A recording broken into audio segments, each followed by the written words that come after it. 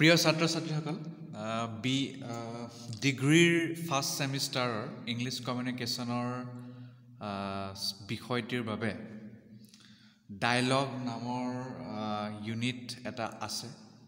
Dialog নামেৰে মানে dialog বুলি আমি এইটো আমি লেচন বুলি ধৰিব পাৰোঁ। গতিকে ডাইলগ মানেনো কি?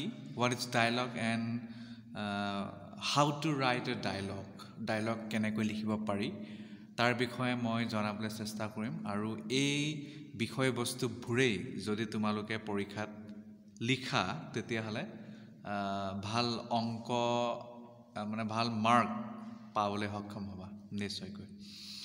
ইয়াত কৈছে যে dialogue comes from the Greek word dialogos মানে ডাই ডাইলগটো গ্ৰীক শব্দৰ পৰা আহিছে আৰু সেই গ্ৰীক শব্দটি হ'ল ডাইলগছ D I A L O' G O' S এই বস্তুটো তোমালোকে লিখিব পাৰিবা পৰীক্ষাত। লগ' মিনছ দ্য ৱৰ্ড লগ' মানে হ'ল শব্দ। Or in our case we would think of the meeting of the word ঠিক আছে? বা লগ' মানে যেতিয়া কোনো এটা শব্দৰ কিবা এটা যদি অৰ্থ ওলায় সেইটোকো লগ' বুলিয়ে কোৱা হৈ গৈছে। And D dia dia means through it does not mean two আৰু দিয়া মানে হ'ল থ্ৰু মানে মাজেৰে। ঠিক আছে? এই বস্তুটো লিখি ল'ব পাৰিলে হ'ল। তাৰপিছত কৈছে a dialogue is a literary technique in which writers employ two or more characters to be engage in conversation with one another এতিয়া ডাইলগটো আমি সাধাৰণতে দেখোৱেই যে তুমি যদি তোমাৰ বন্ধুৰ লগত কথা পাতি আছে সেইটো ডাইলগ চলি আছে। এতিয়া ধৰি লওক ফিল্মবোৰত যিবোৰ এক্টৰবোৰে যে বিভিন্ন ধৰণৰ দুই লাইন তিনি লাইন বা চাৰি লাইনৰ যিটো মানে কথা কয় সেইটো ডাইলগে ক'ব। আৰু এতিয়া সাহিত্যত মানে লিটাৰচাৰত কি হয় ডাইলগটো খুব বেছিকৈ ব্যৱহাৰ কৰা হয়। এজন কেৰেক্টাৰে আন এজন কেৰেক্টাৰক কি কথা কৈছে সিহঁতৰ মাজত কি কথোপকথন চলিছে সেই বস্তুটোক যদি আমি লিখোঁ আৰু তাক যদি কিতাপৰ আকাৰ দিওঁ তেতিয়াহ'লে সেইটো ডাইলগ হ'ব। ঠিক আছে? মানে অকল তোমাৰ বন্ধুৰ লগত কথা পতাই নহয় এজ দুজন বা তাতোধোক তাতোধিক ব্যক্তিয়ে যেতিয়া কথা পাতে সেই সম্পূৰ্ণ প্ৰক্ৰিয়াটোকেই ডাইলগ বুলি কোৱা হয়। In literature it is a conversational passage or a spoken or written exchange of conversation in a group or between two persons directed towards a particular subject আৰু সাহিত্যত ডাইলগ লিখা হয় কথা কথোপকথনৰ মাজেৰে বা লিখিতভাৱে বা মানে মৌখিকভাৱে আৰু যেতিয়া সেই ব্যক্তিৰ সমূহে যেতিয়া কোনো এটা বিশেষ বিষয়টোক লৈ যদি কথা পাতে তাকে কোৱা হয় ডাইলগ এই কথাবোৰ লিখিলে হ'ল। এই কথাবোৰ তোমালোকে নোট কৰি থ'ব পাৰিবা। The use of dialogues can be seen back in classical literature uh uh দিয়ক the use of dialogues can be seen back in classical literature আৰু ক্লাছিকেল যিবোৰ আমাৰ লিটাৰেচাৰ আছে তাতো ডাইলগৰ খুব বেছিকৈ ব্যৱহাৰ কৰা হৈছিল। যেনে প্লেটুৰ এটি মানে ফেমাছ ৱৰ্ক ৰিপাব্লিক তাতো মানে ডাইলগ ব্যৱহাৰ কৰা হৈছিল। তোমালোকে এইটো লিখিব পাৰিবা। Several other philosophers also' use this technique for rhetorical and argumentative purposes generally it makes a literary work enjoyable and lively আৰু যদি আমি ডাইলগ যদি আমি পঢ়োঁ লিটাৰ লিটাৰেচাৰত বা সাহিত্যত ধৰি লওক নভেল ড্ৰামা পয়েম আৰু বিভিন্ন ধৰণৰ ৰাইটিঙত তেতিয়া যদি আমি ডাইলগ পঢ়োঁ তেতিয়া আমি এনজয় কৰোঁ কৈছে সেইটো। ঠিক আছে?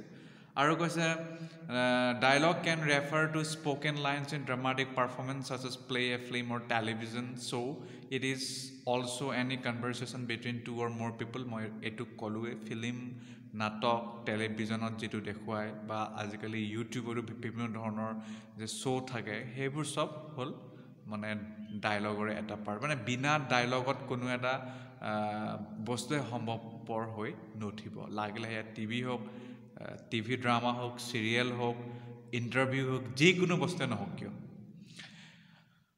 On the written page dialogue between characters is usually enclose by quotation mark when persons represent representing different political parties আৰু ডিফাৰেণ্ট নেশ্যনছ আৰু said to engage in dialogue আৰু ধৰি লোৱা তুমি বিজেপি মই কংগ্ৰেছ আৰু তোমাৰ বন্ধু হ'ল আপ আৰু মোৰ মোৰো ঘৰৰ ভাইটি তেওঁ হ'ল ধৰি লোৱা নিৰ্দলীয়। তেতিয়া আমি চাৰিজনে মিলি যেতিয়া কথা পাতিম সেইটো ডাইলগে হ'ব সেইটো ইয়াত কৈছে ঠিক আছে?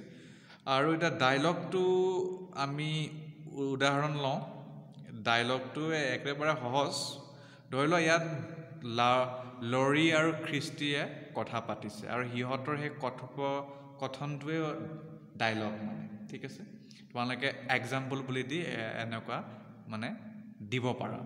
ইয়াত কৈছে Lori so' what are your plans for this weekend মানে তোমাৰ এই সপ্তাহটোৰ বাবে কি প্লেন আছে? তেতিয়া খ্ৰীষ্টিয়ে কৈছে I don't know' do you want to get together something মই গম নাপাওঁ মই কিন্তু এতিয়ালৈকে প্লেন নাই মই গম নাপাওঁ। কিন্তু তহঁতৰ কিবা মানে তই কিবা এক একেলগে মিলি কথা চথা পতাৰ কথা কৈছনে মানে? তাই এনেকুৱা কৈছে। তেতিয়া ইয়াত চাৰাও কৈছে আকৌ চাৰাও ইয়াতে সোমালে। চাৱাই কৈছে how about going to see a movie Cinemax twenty six on Carson Boulevard is শ্বয়িং an enchanted তেতিয়া লৰিয়ে ক'লে that sounds like good idea সেইটো ভাল লাগিব। ঠেকে কৈছ তই। May be we should go' out to eat beforehand আমি মানে তাত ফিল্মটো চোৱা আগতে খাই ল'লে কিবা এটা খাই ল'লে ভাল হ'ব কৈছে। ছাৰাই কৈছে it's fine with me where do you want to meet এইটো ঠিকে আছে তেতিয়াহ'লে। ক'ত লগ পাব? বিচাৰ। Let's meet at Summer Pizza House বৈ ছামাৰ পিজ্জাৰ হাউচত খাওঁগৈ তাতে লগ কৰোঁগৈ। I have have not gone there for a long time মই তাত বহুত দিন হ'ল যোৱাই নাই। বৈ বৈ তাত যাওঁ। গতিকে তোমালোকে যেতিয়া তোমালোকৰ বন্ধুৰ সৈতে মানে মিলা মানে মিলিজুলি মানে ক'ৰবাত কিবা এটা খাওঁ বুলি থিৰাং কৰা আৰু যিটো কথা পাতা লাগিলে সেয়া হোৱাটছআপেই হওক ফোনেৰে হওক চাটেৰে হওক যিকোনো ভিডিঅ' কলৰে হওক যিকোনো প্ৰকাৰে নহওক কিয় সেইটোৱে হ'ল ডাইলগ মানে হা? তোমালোকে এই বস্তুটো লিখি দিলেই হৈ গ'ল আৰু কামে চেছ হোৱাট ইজ ডাইলগ বুলি ক'লে এইটো লিখি মানে ডাইলগ সেইটো মই মই যে ক'লোঁ লগ'জ চগ'জ সেইটো তোমালোকে দুই লাইনমান লিখি দিবা। উদাহৰণ এনেকুৱা দি দিবা ইয়াত নাম তোমালোকে যি দিলেও হ'ব। কমল ৰহন গুণেন ৰহিম যি মন যায় তেনেকুৱা ধৰণৰ লিখি দিবা। এইটোৱে ডাইলগ বুলি কৈ দিবা। আৰু ডাইলগৰ ফাংচনটো কি কৈছে? ডাই এইটো সহজ। ডাইলগটো মানে the use of dialogue is prevalent fiction মানে এইটো ফিকশ্যনত ইউজ কৰা। হয় ফিকশ্যন মানে হ'ল যিটো মানে উপন্যাস। সেইটো। অঁ গৈছোঁ গৈছোঁ। বাকী ফাংচন অফ ডাইলগটো তোমালোকে এইটো ইয়াৰ পৰা চাই লিখি ল'লে হৈ গ'ল। মই আৰু এক্সপ্লেইন নকৰোঁ। এইটো ইয়াতে স্ক্ৰীনশ্বট মাৰি ল'লে হ'ব বা এইটো চাই ল'লে হ'ব। সিমানে thank you so' much for ৱাচিং দ্য ভিডিঅ'